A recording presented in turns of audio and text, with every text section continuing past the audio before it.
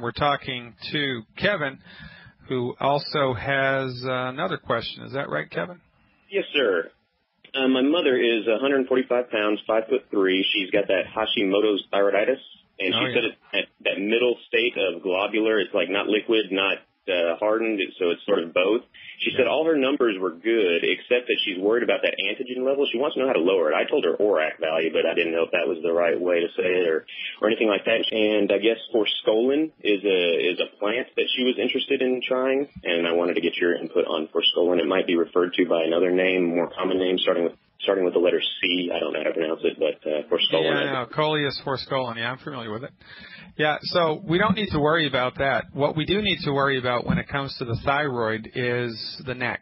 And uh, most of the patients that I've seen that have any type of a thyroid condition, regardless of the diagnosis, right, whether it's underactive, whether it's overactive, whether it's Hashimoto's, Graves' disease, or whatever the heck it is, simple goiter, most of these patients have a problem with their neck, and that the curve in their neck is not correct. Uh, there needs to be a, a gentle S curve in the whole spine from the base of the skull to the tailbone. There if you look at somebody's profile, someone who's healthy, the, the spine has a nice little S curve to it, and it starts in the neck. And if the neck, the curve is reversed, I've seen the curve be reversed, I've seen people's neck be completely straight, no curve at all, that's going to compromise the nerve signals that are coming out of the cervical discs uh, that feed the thyroid. So one thing we need not overlook when we're helping somebody to support and promote the health of their thyroid gland is their cervical spine. So I would find a good chiropractor, um, have them do a digital X-ray uh, of the neck from a, a side location and check to see whether the neck is put on the body straight. And if it's not, then your mom's going to have to get on board with some type of chiropractic adjustment on a regular basis to reassert the curve in her neck. And when that happens, life is going to be much better for the thyroid gland because the nerve signals that are going to be coming out of the neck are going to be 100%. And, you know, that's better than 50% or less, okay?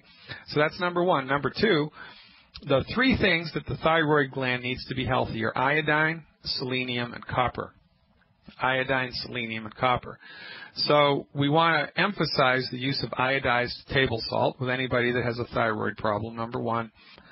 So, you know, it's with someone with a pre-existing thyroid condition, in order to support and promote the health of the thyroid, we would need to do more than we would for maintenance of the thyroid gland. So in this regard, uh, to accomplish that end, I would recommend uh, 12 selenium a day, forward breakfast, forward lunch, and forward dinner. And by the way, uh, it is possible to take too much of selenium. It's hard. It's possible though. Um, I've only known one person in four years of doing this that this has happened to. If you take too much of the ultimate selenium, uh, you get your breath gets a fishy, garlicky odor. Your hair starts to get a little dry, and your fingernails will split. If those symptoms start to happen, you just back off on the dosage, you know, by 20%.